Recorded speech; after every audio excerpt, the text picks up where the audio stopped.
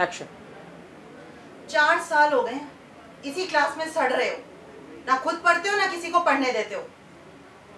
Last warning दे रही हूँ। इसके बाद अगर किसी भी बच्चे को रैक किया तो देखना। कॉलेज से तो निकालूँगी, पुलिस अपनी कार्यवाही खुद करेगी।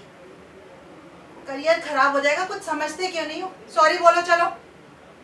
सॉरी बोलो इनको।